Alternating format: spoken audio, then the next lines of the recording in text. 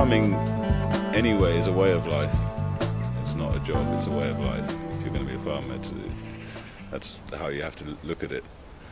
Um, and organics definitely, it, you have to, I, from my personal point of view, is you have to work with nature. Of course, within organic farming, there's a whole spectrum. You're getting some organic farmers who just see that not using chemicals is the, is the answer, but they're still using the industrial model of inputs and outputs in, the, in their head. And then you get fertility that you have to start seeing the farm as a whole and there has to be a balance there. And that is one of the main principles of a biodynamic farm, that behind this concept you have that it, it has to be not bringing in inputs from outside, that you see that the whole farm is a kind of whole which has to be in balance, that you have to be able to produce all the feed for your animals off that farm, that they in turn will, if you have the right balance of animals, will produce enough manures of different sorts to maintain and, and increase the fertility on the farm. And the important for in biodynamics is to have the farm as an organism, so, so the farm is able to produce all its own manure and able to produce its own fertility. What people do here, uh, which is much more efficient, of course, is then to use the clover to feed it to your ruminants, to your cattle, to your sheep, you know, to your cows. Um, and they in return give you manure. It's very important that we all try and go as organic as possible for the health of everyone and I think to try and reduce the amount of chemicals that we're using because firstly if it's, the food is not organic you're eating a lot of chemicals anyway and then there's lots of chemicals used to grow that food so if you can go organic then it would reduce the damage to the environment that these chemicals GMO crops cause. And then uh, on top of that, in uh, biodynamic farming, there is uh, the concept of the preparations, which, which are, I think, enhancing the manure to a way that the manure is able to really support the plant life, uh, uh, for it to support the animals and the people that live on the farm and feed off the farm. So again, you're creating this cycle of health and sustainability by having the cows eating grass that is suitable for them, that is healthy. And then this manure also goes into the vegetable garden. This manure also goes into producing grain and cereals, which then is fed the people through through the farm shop. Grow up with organic food, it's a very whole environment that you grow up in. So everything is affecting that food. And I think that makes you very aware of your environment and what you're bringing in and what you're putting out. So I think to learn to grow organically is um, vital for how you treat the earth, actually. And I think if you experience the goodness that organics brings into your food and to your environment, then you start to see what else needs to be done around you. So yeah, I think it opens your eyes. Our cows are all kept biodynamically, which means that um, you know they're fed with um, hay and silage from our own farm. All, all of their food comes from our own farm, and it's all grown organically. And we use biodynamic preparations. Um, the cows have their horns, which we feel is very important for their digestive systems, which um, is also reflected in the milk, and the milk is more nutritious. Um, and uh, they get to um, be outside all through the year um, and in the summer months, spring, summer, autumn, they're, they're out on grass, eating grass, um, which is the most natural way for a cow.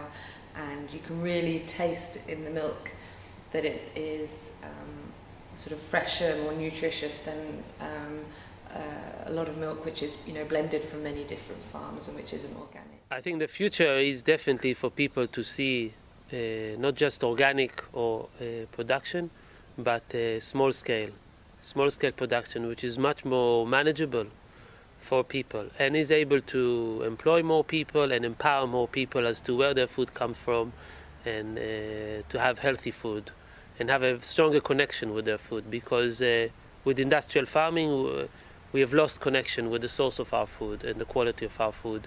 One person can go to store and buy pepper, doesn't matter what time of the year. We are able to import fruit and vegetables from all over the world, and we don't think about where our food comes from and how much effort goes into it.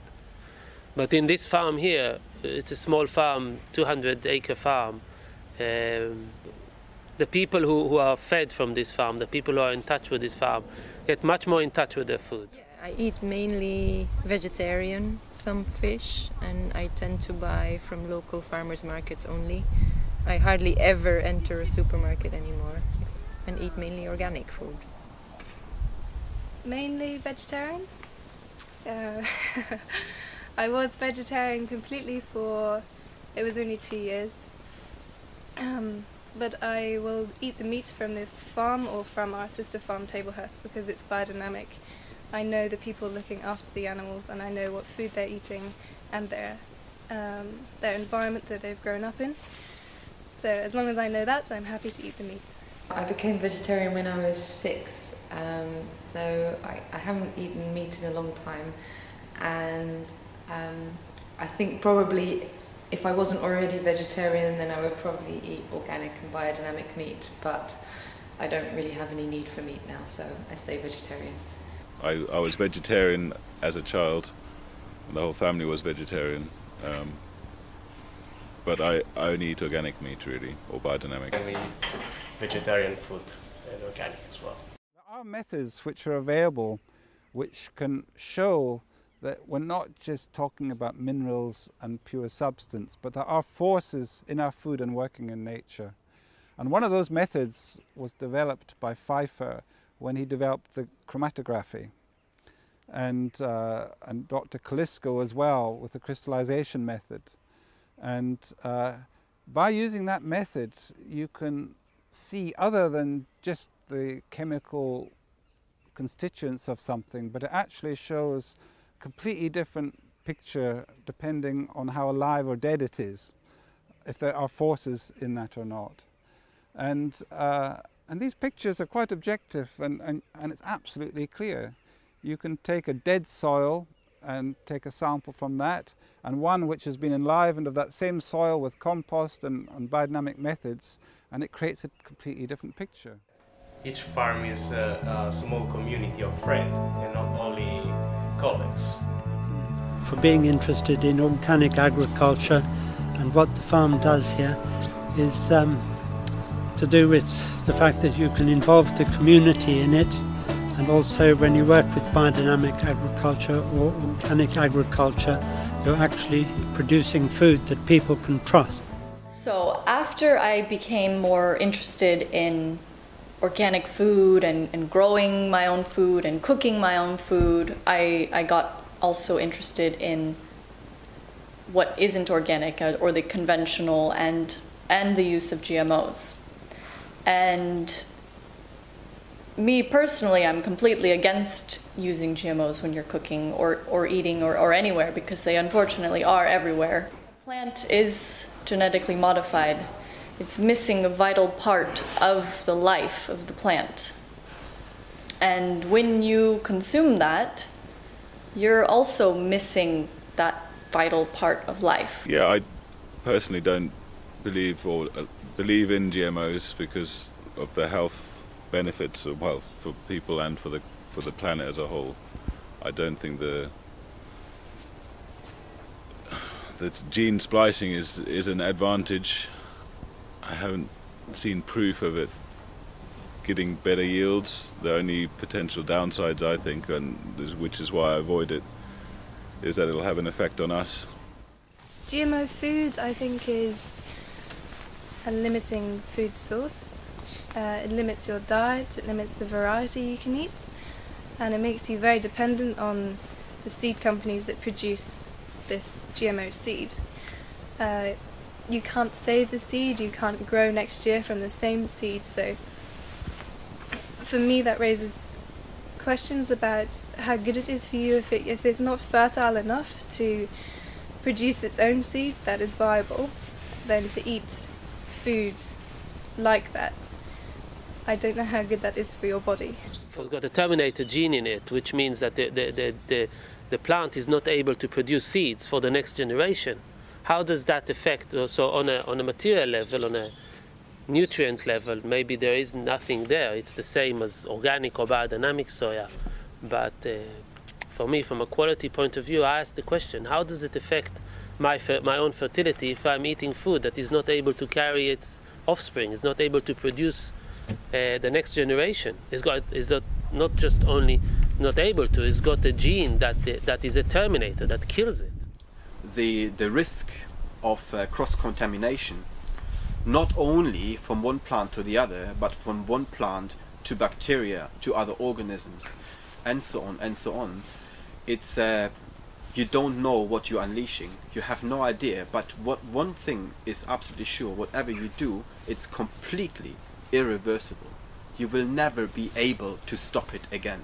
Once it's out there, it will be out there. If it's working out in a bad way, there's no way to reverse this process. I'm very suspicious of GMOs. Um, I have to say, I always try to buy from local farms when I don't get my food from my own farm.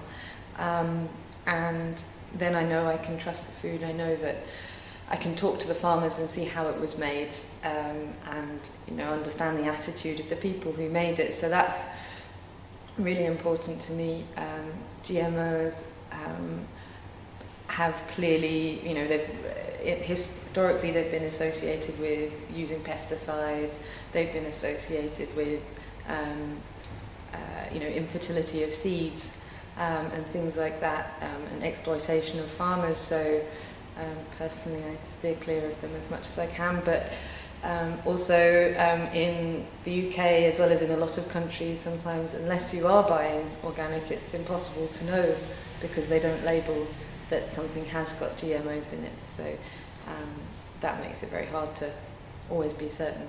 And uh, the last thing is that it you know now time and time again it proves that GMO doesn't work. Again it's the question of sustainability. Uh, the fact that I sowed maybe a field of, of GMO uh, corn and it's grown a good crop one year, it doesn't mean that it will grow food every year. A lot of GMO crops have proved to fail. They don't have higher yields, but they and they still need to uh, have pesticides, herbicides, and fungicides. And the result of it is then you get resistant strains like the super weeds, like uh, and and this just becomes a um, it just becomes an accelerating process. So if you get super weeds, then you need to use more poisons and more poisons, and then you need the weeds get stronger and stronger, and you're not really solving the problem. The problem is not really solved. While if you create a balanced ecological system and acknowledge the fact that there will be weeds, that there will be pests, that there will be diseases, but to keep it in a in a balanced way, I think it's much more healthier. The slightest interest in going back to growing your own food or um, buying from local growers, you should try and do it because um, to me that is the future basically. Um, when you live in a city and you live just with technology all around you, where life is so very so fast paced, you actually gradually completely lose your identity and you completely lose a sense of what life really is about. So for me, the journey of returning back to nature and to working with the soil and with plants every day has just been an amazing journey. Like I have had so many moments in the last year or a year and a half where I felt so content and so connected and where I've really been able to feel joy um, just being with color, with yeah, sounds of nature. There's so much more than just nutrition that you get from living on the land and working with the land every day. So if you have a chance, then I would say try and leave that bubble where you're completely blinded and numbed by technology and just try and go back to nature wherever you can find it really. It's, I think it's the, it's the only way forward. Small scale uh, growing a lot of small farms that are able to grow and specialize in certain things and but grow also a wide variety of fruit and vegetables it's also fun you know it is i wouldn't choose it if it wasn't I really enjoy farming life. I like it's very seasonal, it's very rhythmic. Um, you always have the most amazing food right at your fingertips. So I would definitely recommend everyone get into farming, but it is really hard work.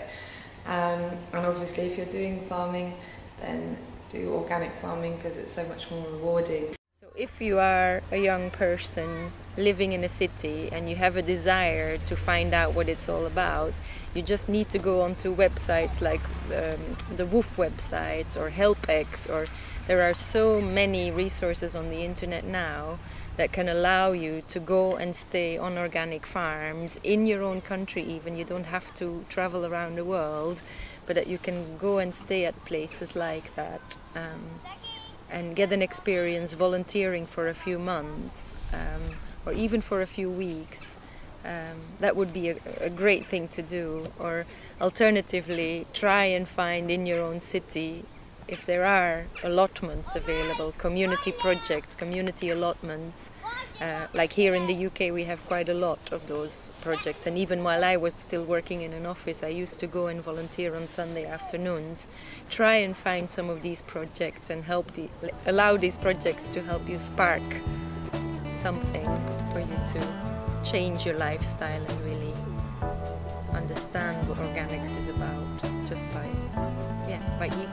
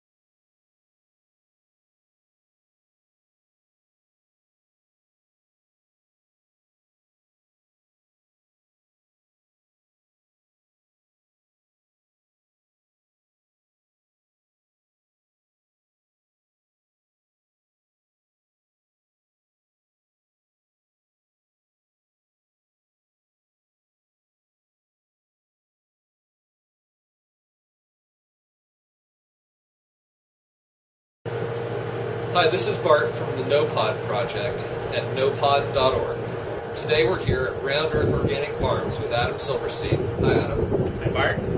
And Adam's going to take us on a tour of his organic farm and teach us some of the tricks that he uses to grow crops without pesticides or fertilizers. Now, most people, when they keep chickens, they may not even have a chicken coop. But if you do build a chicken coop, you can build a roosting pit and you get all the manure. Ah, very cool. So Ours is kind of fancy, but it doesn't have to be this fancy. Okay. It could be a lot simpler.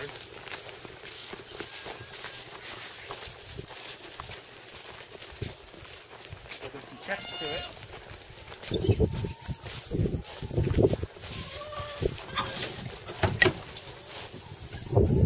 So there's the roosting pit in there.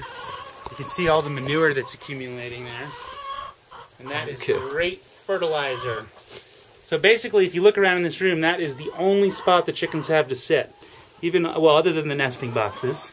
But if you look like above the nesting boxes, how we did that slope over there, that's so they can't sit up there. Oh, I see. So they really spend all their time when they're in here sitting over there.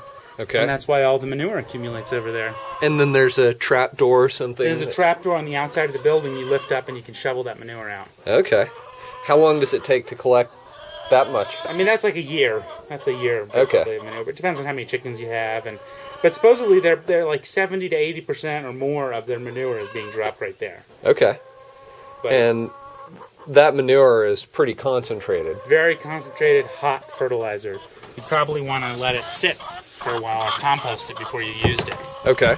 Um, And but it- say you composted that for a year, how much coverage would you get out of that much fertilizer? Well, I mean, usually when I'm spreading it, I'm just spreading like a quarter inch, you know, on the surface of the soil, or 500 pounds per acre. Okay. You know, is a, is a ratio, but you don't really use a whole lot of it. Um, so it goes away. It goes a long way. Let's go around back here and see our trap Oh, door. yeah, trap door. Okay. Bulging. Look. Yep. nice. Looks like there's supposed to be another one. There.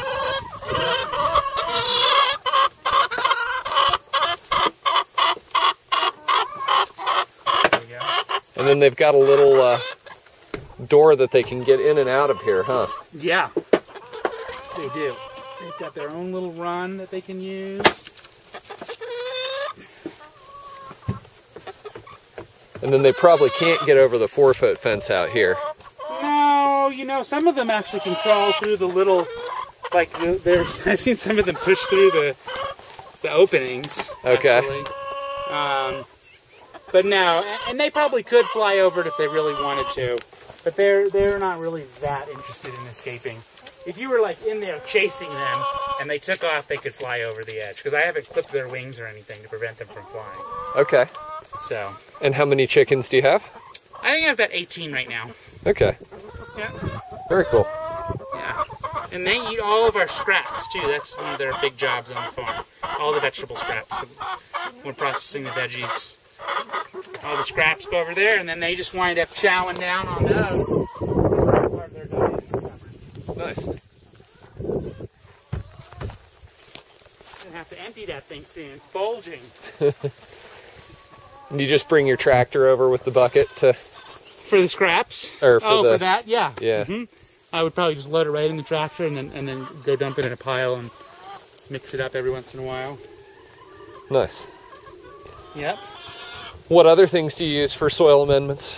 You know, chicken manure is really the big one that I've used, and, and I've also hauled in chicken manure from chicken farms around here. Okay. Um, the, the Del Mesa people, they sell this composted chicken manure that I bought like 10 years ago. It's just been sitting in a pile. Um, I also have a lot of deer and elk that come through here in the winter, so they're contributing. You know, you can actually you see the pellets right there. Oh, yeah. Um, so I leave my veggies, my veggie crop standing. By the middle of October, we're kind of done with harvest, and the deer and elk start moving down as the hunters move into the high country, and they come down here and they spend a lot of time just chowing down on the the remnants of the veggies, you know, Yep. and leaving their fertilizer for us. Very nice. So that's part of it. Um,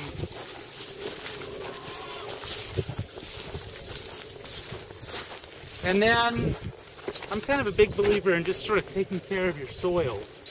And that if you have healthy soils, that most, for the most part, most soils have a lot of the nutrients that the plants need. And a lot of times when you have poor growth, it's because plants can't get at the nutrients that they need. Okay. Um, so a lot of times, just by working your soils, by tilling them, by irrigating them well, in our case, irrigation, um, spreading some manure, um, you'll you'll start to improve the soil over the years of just just the factor of aerating them. You know, just tilling them, growing some kind of a crop, even if you're just growing a cover crop, like a, a crop that's just to improve the soil. Okay. Um, you know, sometimes I'll plant a ryegrass or clover or alfalfa, and then later in the season just mow that down or till that back into the soil. Okay. And that process kind of helps rejuvenate the soils. And so part of what I'm doing is I've got, you know, 15 acres, but I'm maybe growing veggies on five acres. And, and the other acreage each year is, is either fallow, is unused, or it's got some kind of a cover crop that's growing in it to improve the, so, improve the soils. Um, so, and I, and I sort of have this slow approach. I'm not real big on fertilizers. I kind of feel like the chemical fertilizers tend to pump things up. They increase the amount of water that the plants uptake and the crop gets bigger, but I don't think it necessarily makes it taste better.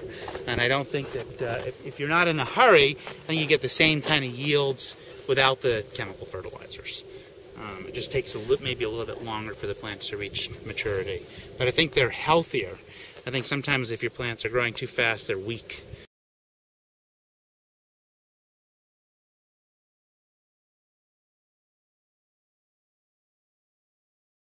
Um, so I kind of have this idea that plants, like people, have an immune system, and that that they have a resistance to things like pests. Um, but if they're weak, the pests will have at them. Uh, and you see that we, I see that in the field because often the ends of my beds, the far ends, are the part where the pests do the most damage. Now, part of that is the pressure coming from outside the field, but part of it is that the, the, the ones, the plants that are growing at the ends of the beds are always the weakest because they get trampled as you walk, you know, cut the corners with the tractor, or they don't get weeded as well, or they don't get watered as well because they're at the edge of the irrigation set. So those plants are weaker to begin with. And then that weakness translates into them having more pressure from pests. Huh. as well. Interesting. I got that from uh, one of my teachers who, who was really into the whole immune system and human beings, and, and he kind of had this idea that plants have im- immunities, and when they're weak, they. And you definitely see that as plants start to decline, the pests kind of will move in. Um, you know, the other thing, big thing that we're doing out here for pests really is not monocropping. Um, you know, I do have some crops like corn. Maybe we'll have a quarter acre of it, but for the most part, you know, what you see is a little patch of this, a row of that. You see some flowers out in the middle of the field that are that are mostly just grown for for the birds that like them. Um, I grow. There's a couple of crops that I grow, like dill and cilantro, that uh, I will let go to flower, and those flowers will attract beneficial insects. Okay. Um, but the big thing about having the diversity is just that you're um, you're reducing the habitat for the for the bad insects for, for your pests. So if you have a you know 10 acres of corn and then you have a pest that likes corn, they're just going to flourish in there and go crazy in your corn. But if you just have a little patch and then you have something else and you have something else, that there's different pests that like each dif- different crop. So you're sort of giving them less territory to, to move in on. Um, and at least in our climate, a lot of the pests actually they, they immigrate in each year. They don't overwinter here. So each year they have to come find you. And if you've just got a little bit of this and a little bit of that, it's harder for them to find you. Very Um, nice. Yeah. And then of course you're also you're, you're putting yourself at less risk in terms of failure if you have one crop that fails out of 25 crops that you're growing, it's not as much of a problem as if you're just growing two crops and you lose one of them. So that's another way that diversity helps. So it sounds like diversity is a big part of your strategy all the way around. It is, it is, and also for nutrients, for pests, for diseases, soil diseases. Um, so diversity also plays into rotation, where you're not growing the same crop in the same land over and over again each year.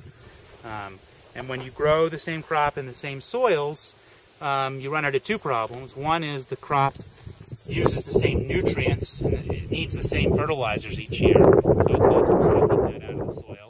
And the second thing is it's going to the diseases. The diseases do overwinter in our soil. So if you get some kind of a fungus disease that's affecting your tomatoes, and then you keep planting tomatoes in that same soil, you're going to have that same disease. Um, so in that case, we're trying to rotate different plants, and, and we're talking about the different plant families. So tomatoes, peppers, eggplants, and potatoes are all in the same plant family. So they'll, they're in the Solanaceae family, and they will all, because they're in the same family, that means they're going to have the same nutrients that they need and draw from the soil. They're going to have the same pests. They're going to have the same diseases. So for that reason, those crops, I would never plant them in the same spot in the following year, the subsequent year. That makes so if. I had eggplants in a spot the following year, you know, none of those crops could go in. And there's really only like five families of food that we grow for almost all of our food, for, for the vegetables anyway. There's, you know, the solanaceae, which I just mentioned. There's the cucurbits, which is like uh, cauliflower, I'm, not, I'm sorry, cucumber, squash, winter squash. Those are all cucurbits, pumpkins. There's different subspecies, but they're all related. They all have the same pests, same diseases, same nutrient needs. Then there's the cruciferaceae, which is like the, or brassica, brassicas, they're called broccoli, cauliflower, kale, cabbage. All those are in that same family. Um, let's see. What other vegetable crops are there? There's the alliums, which is like the onions, the uh, garlic, um, shallots, leeks, all those other oniony things. Stronger smelling root crops. Yeah, that was three plant families. I'm, I'm, I'm probably forgetting. Okay, so the lettuces are all in one plant family, but I can't remember what the name of that family is. Um, I'll have to go look. I've got a book that's a little more of a guide that, that would give us like all the information.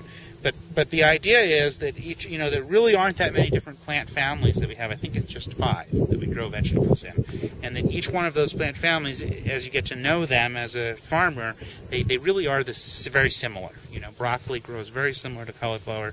They like the same conditions. They use the same nutrients, same pests, same diseases. So really, that plays into a lot. The diversity is also about rotating and, and, and having all those things kind of mixing up um, each year. Very nice. Okay.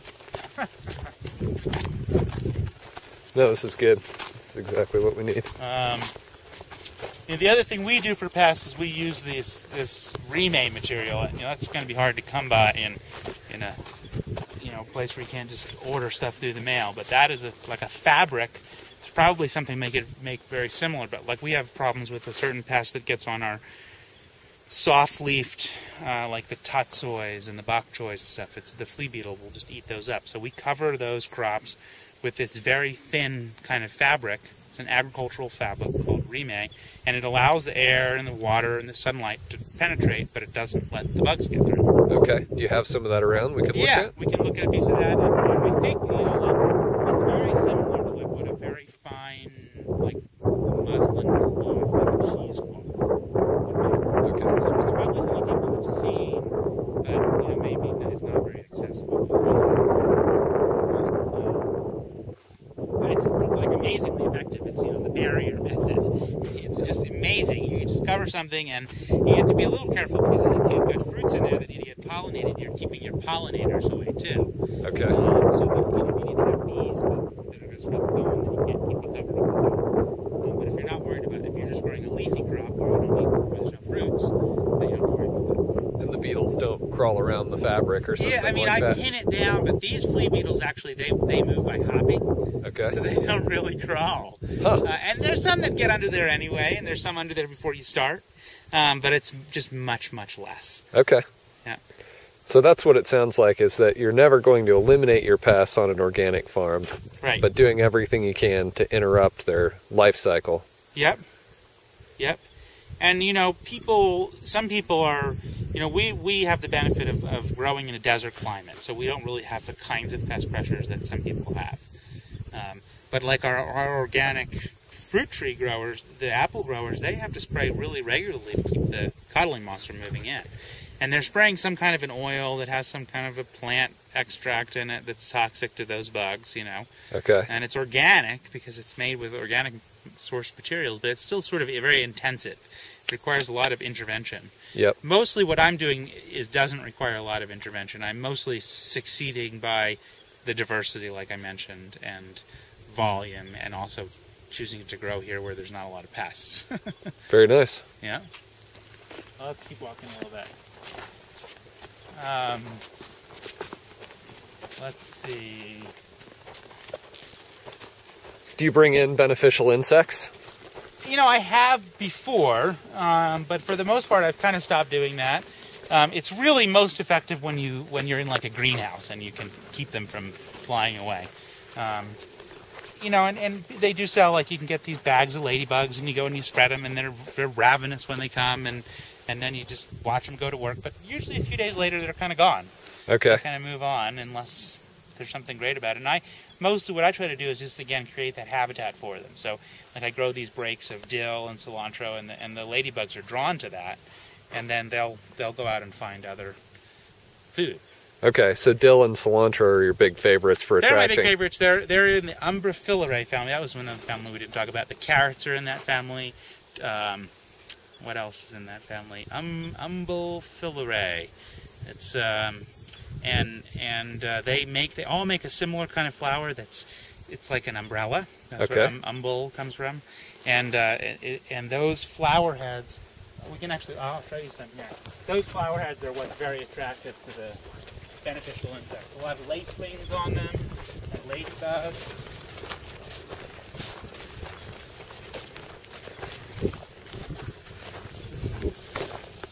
That's dill. Okay. And that's the classic umbel family. So there's quite a few plants that have that same shaped. Sometimes they're white, sometimes they're yellow, but they always have that kind of open up in a in a big head like that. These are potatoes here. Okay.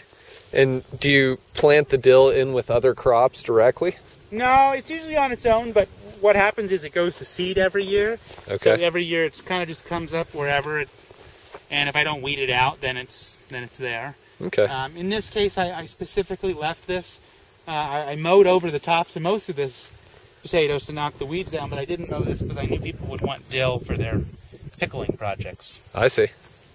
So, and it was like the only dill I had left in the field. Ah, nice. That I mean, worked there- out. There's some more, but these were some big heads at the time. What do we have growing over here? This is uh, cauliflower. This is some of that crazy purple cauliflower. Oh, nice. A couple heads that didn't get picked in there. Yep. Um, that was a green cauliflower we did this year. And we grew the orange cauliflower and, of course, the white cauliflower.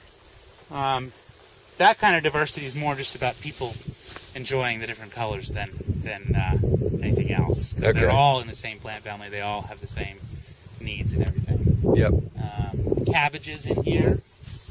Uh, you can see our sprinkler line. Things like broccoli and cabbage and cauliflower all like water. They like to be watered all day long, every day. You can water them in the heat of the summer here. You'll always see these uh, sections on. The sprinklers are on here.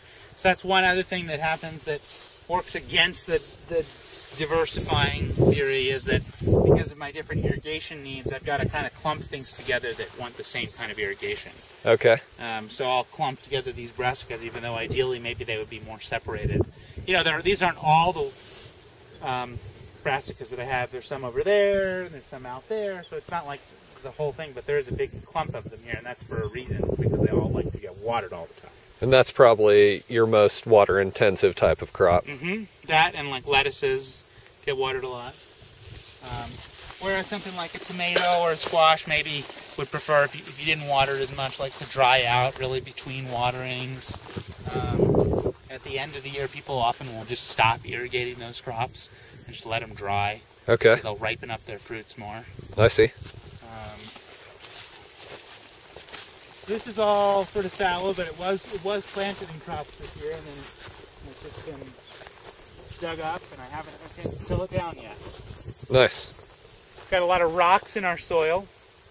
That uh, is always a lot of work on your equipment, and uh, it's a big project in the spring. But the rocks also indicate that we have good mineral content in our soil, because our soils are being formed when there's a lot of volcanic activity in the area.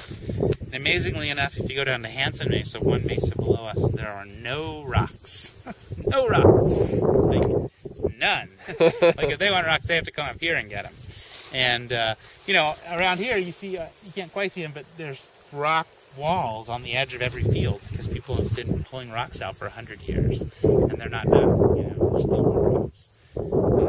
And so you've got a much better mineral content than they do down at Hanson Mesa. Yes, their soil is much more sterile. It's sandier. Yeah, so they have more to do in terms of fertility. Okay. So, but I just know, I just noticed the rocks. That's why why I mentioned it. Yep. Because every time you till, you get a bunch of rocks coming up.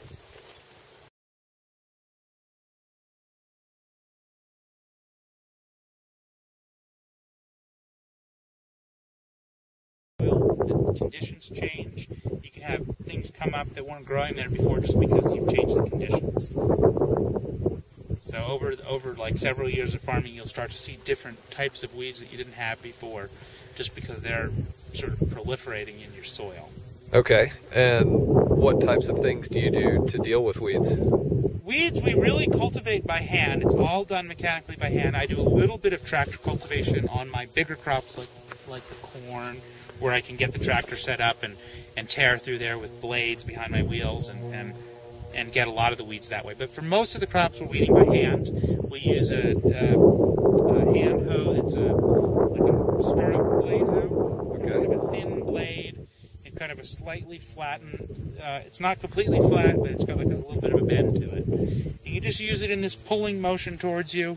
Um, the biggest thing that I've found about weeding is that the timing is really critical. You have to weed before the weeds get too big, or you wind up doing a lot more work. Um, and so, getting to the weeds at just the right point is really important in terms of being efficient. Uh, also, the moisture level of the soil is really important when you're weeding. So, in our climate where it's dry and we can control the moisture level, you know, I try to make sure that the soil that we're we're cultivating, hoeing, um, is not soaking wet because it'll just the mud will just clog up your tool. You also don't want it to be super super dry because the soil just gets hard when it's dry. But it's got to be kind of somewhere in between, a little bit of moisture. And then right after we cultivate, we want the weeds that have been cut up to just bake in the sun, so we don't want to irrigate for another day or two after we weed. Okay. And then we can start to irrigate again.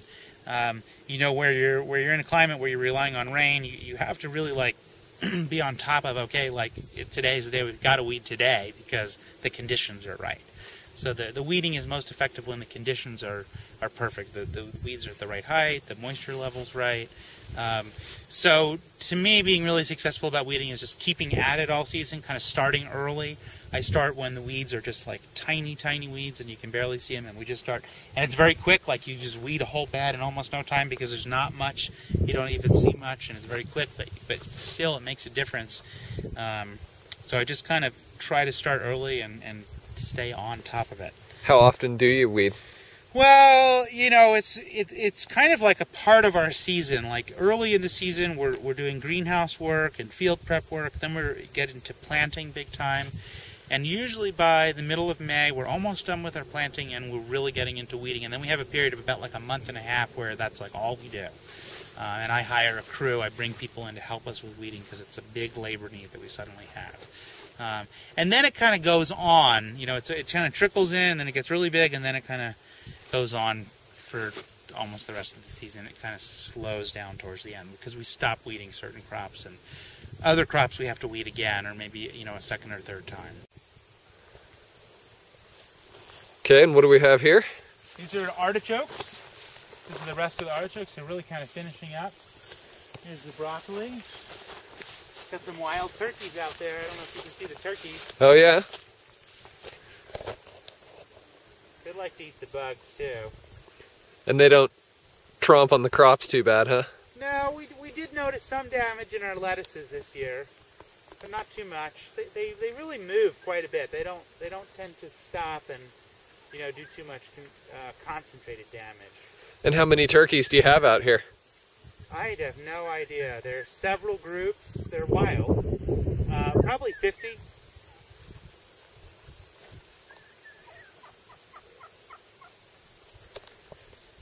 Are there any artichokes? Oh yeah, here are a couple on the plant. You can see the ladybugs all over them. Yeah, was I telling you about that? This is the, you see, what you see here is really cool. You get the ladybugs that are eating the aphids. And the other thing you get is, I don't see it so much right now, but you get ants that farm the aphids. The ants, there's an ant, they bring the aphid eggs up and they put them on the plants and then they come back and they harvest the little baby aphids to eat. Okay. Uh, and then the, the ladybugs kind of key in on it, and there's a lot of wasps that come in too. And I mean, these plants right now, I, don't, it's, I think it's just kind of cooled down, so it slowed down. But in the middle of the summer, it was just like crazy. You could barely walk in here. It was just insects everywhere. And so ladybugs are pretty much your primary beneficial around here, it seems like. They're a big beneficial for sure. Yeah, there are definitely a lot of them in here. There's a lot. The celery in our climate tends to get really tough. So what I'm trying to do here is hill it up. I'm trying to use the tractor to bury these things with dirt. And then that'll sort of blanch them and make them turn white and tender, hopefully. Nice. I can almost smell the peanut butter and raisins.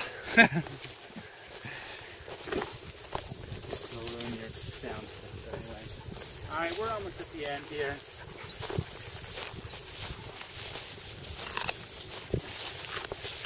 Mm, it's good. Talk a little bit about drip tape.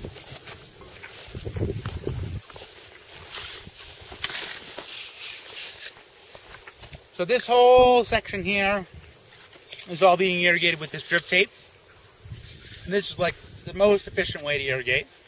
Um, the water's just pushed down into the tube, and there's little holes that are kind of pre-drilled into this seam that allows the water to dribble out. And so for the whole run, there's like a little bit of water dribbling out every 12 inches, and the, the lines stay on for a long time, like five or six hours, until it's saturated. Um, it's very efficient. You're not watering, you know, in between the beds. So I've got one row of crop, and then I've got a five or six foot space, and then another row of crop, and I've just got water going where the crop is. So also less weeding because you're not watering your weeds. Um, and also a lot of these crops they don't really like the overhead water as much. They really they don't they don't like to be watered on their leaves. So anyway, that's drip tape. Um, you know, I mean, just irrigation is just a huge thing out here in the desert. So I don't know, it just probably doesn't apply to other places where it rains all the time. But for us, you know, that's a big technological innovation. And so you've got some main pipes, and then you keep branching down, branching down, and the drip tape's obviously at the end of the whole Mm-hmm. chain. Yeah. Yeah, we have a um, a really big four-inch main pipe that's buried, and then that comes up into these risers every 40 feet. And then on these risers, I can either go with a sprinkler line, where I'll have a sprinkler head every 30 feet, or I can go into a PVC pipe and then go into the drip tapes. Okay, so it goes to PVC up at the other end there. No, the PVC would be down. I could just like this here. Okay. but I can it here, I'll. This would be for, for drip instead of for I see. sprinklers. Gotcha.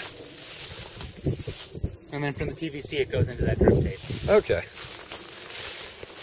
Do you have one of the drip tapes starting off from the PVC somewhere? Yeah. let me think. It's hard to see it. Okay. That's what it looks like. Wow. And all I really do is I. Looks like that one wasn't working. Um, you know, it's a very simple system. I, I drill a hole in the PVC that's slightly smaller than the outside diameter of this tube. Okay. And I cram the tube in there. And then I poke a hole in the tu- in the uh, drip tape and cram the tube in there. And that's my that's all of my whole technology. And then you just pinch off both ends of the drip tape. Yeah, I just hide it in a knot. Okay. They do make special fittings for all this stuff. You know, they make a special fitting for this part. They make a special fitting for tying off the end. They make a special fitting for this. I just learned this kind of cheap way of doing it, where you don't have to have any fittings. If it works, that's what matters. Great. Um, you know, and at a certain point in the season, you don't, you can't check the line anymore. When we first fill it up, we go down, make sure it's not leaking anywhere, make sure there's no tears or whatever. At this point in the season, if I were to make wanted to make sure it was working, I would basically just go to the other end. And if it was water at the other end, I'd be pretty confident there'd be water dripping out the whole way. Okay.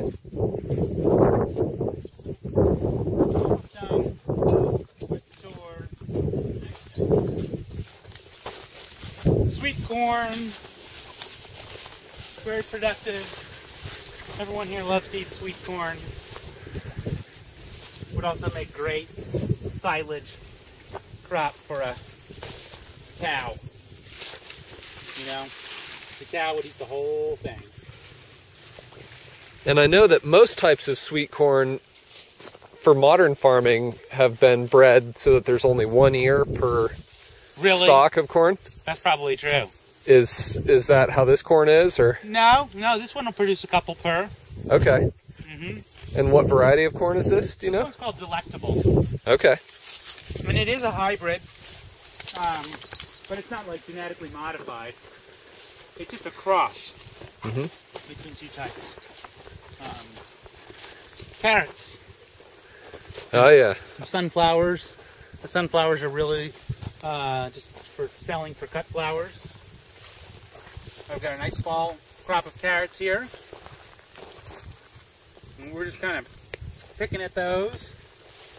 They'll go for a couple weeks, a few weeks maybe. A lot of different varieties. Oops, I'm in your light. Yeah. Let's gonna try and pull one out I here. know, I see you. You might just pull the top. Here, here you go. Okay. These are the little guys. These are cute. These are the little like thumbelinas. Nice. But some of them are bigger. Just the type.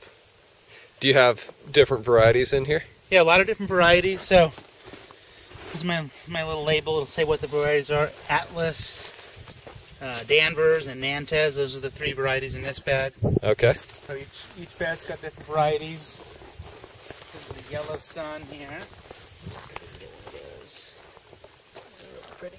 Oh, come on. I need the water, and then they'll come out a little easier. Sometimes we, sometimes we have to bring the pitchfork out actually to get these guys out. Nice. Depends on the variety. There you go. Yeah, yeah, look at that. That's a healthy looking carrot. hmm Lots of carrots still to be picked. There's some basil and scallions. Okay. There's the rest of the beans. Those were highly productive, and we had to just stop picking them because we just kind of ran out of labor. So these are onions. You were showing us one of the onions you just picked here. Yep.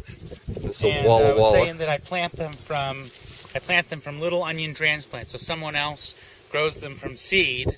They probably start them in the fall. They overwinter them, and then I- when I buy them in the spring for transplanting, they're just tiny little onion shoots.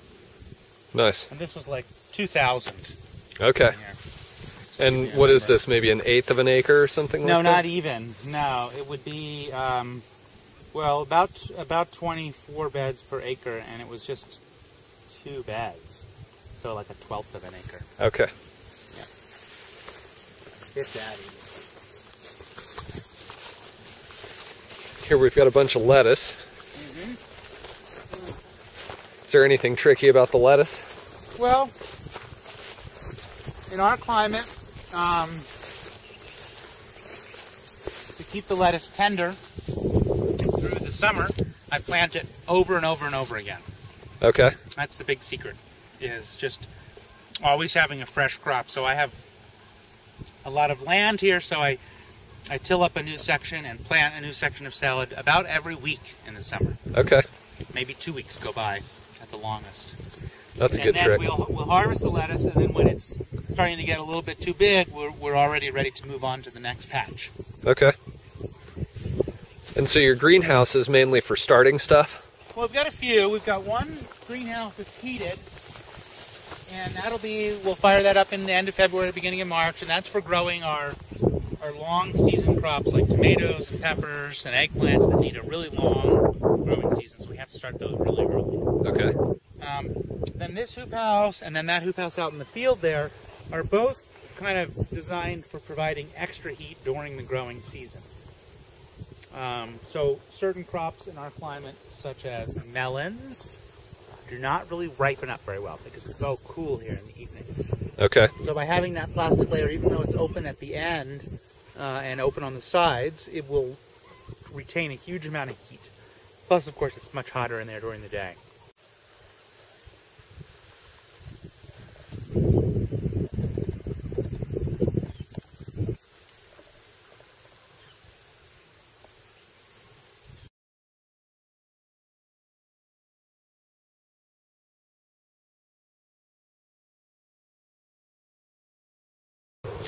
Okay, so you basically just have two tractors here on the farm. This is a big tractor for tilling and a little bit of the cultivating, like I said. And this one is the little cultivating tractor. It's a 49, 1949 Allis-Chalmers Model G. Got the engine in the back, Okay. which is a nice feature so that you can see your crops when you're sitting looking at your crops. And in the front, we've got these gooseneck sweep blades. And these are set up to weed the three rows that we grow in our beds. So these blades work the soil, the the wheel and this back are, are kind of rolling along, floating along. Okay. These brackets allow the blades to go to move up and down. I see. And then this is this is cutting into the soil. So the idea is this is just below the surface of the soil. This area here is being left untouched in between those two blades. But but this is being cultivated, this is being cultivated. And so there's three lines that are left. Three parallel lines, and those are the where the crops are. Nice. Um, so those three lines would line up with these three markers. So when we're when we're planting, I will mark the fields with these, and that'll give us three furrows.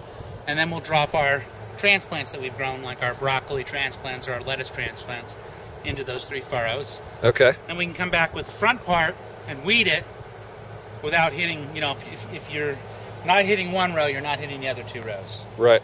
because they're parallel. They're not straight, they're parallel.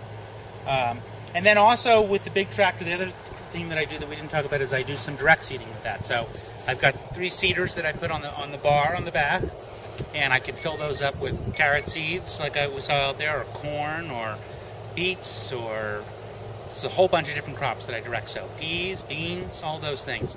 I'll dump those seeds in the seeder and then drive down, and then that's putting the seed right below the surface of the soil. Again, the spacing on those three rows would match the spacing of these and the spacing of my cultivators. Okay. So I'm able to go back and do the cultivating. Nice. hmm We still cultivate everything by hand, but this allows us to come through very quickly. I can, you know, in a couple of hours, go cultivate a whole acre. And, you know, it's not 100% thorough, but it's a 80, 90% kind of thing, and then come back by hand to finish the job off. Well, it seems like a neat little tractor. That's cool.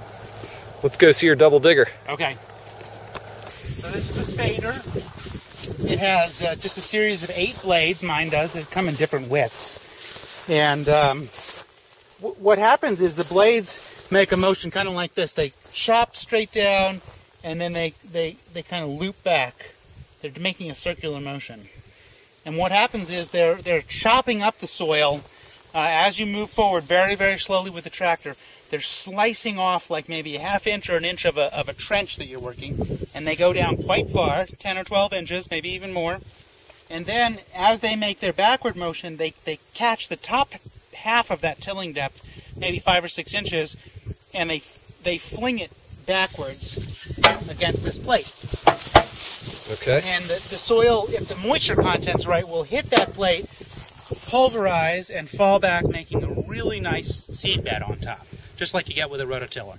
Now, if it's too dry, it'll be, you know, it won't pulverize. If it's too wet, it turns it into muddy chunks. So the moisture content really is very critical on this implement. Okay. Um, but if the conditions are right, what you wind up with is, you know, you wind up with soil that you can stick your arm down to your elbow. It's loose down that far. Um, the bottom half of that tilling depth has been loosened. The top half has been actually blended more. Um, they don't get mixed together. You know, you- Okay. you keep Whereas your- a you rototiller would just mix them. yeah, it mixes them. And part of what you're doing with the, the whole thing I was talking about, like the life of the soil and trying to keep your soils healthy, you know, most of the life of your soil is just in those top couple of inches. That's where all the biological activity, where the oxygen is permeating, the worms are doing their cycling up and down. Um, so when you when you're rototilling or tilling down eight or ten inches and you're sort of blending it all up, it's not that you're killing it, but you're losing sort of your concentration of your life. You know, so if you can try to avoid that, it's better. Okay. Um, Good so- tip. Yeah. And it's a great tool, and they, they have come down in price quite a bit since I bought mine, and they're they're make they make them in all different sizes, so you can get them even as small as like for a Foster type rototiller. Oh, okay. They have them for like a BCS rototiller. The fancier one, but I could never get its. You can see it's kind of pulled apart. I could never get its uh, chain to work. I got it. I mean, I used it for several years, And then one year I just I spent all this time. I had Jim Harden like manufacture these pieces, these teeth for it for me, and Okay. I could never get that. It, would work, but then it would get stuck. And I finally gave up on it. So I, I need to actually get a bigger one. This is the one I'm using now. It's pretty small is my main problem with it. You know, I can only hold like three or four buckets worth, and then I got to drive out there and drive back. Right. The one driving a lot more. But it's chain driven, so it's more reliable. Right. Yeah, sometimes the old technology works better. Yeah.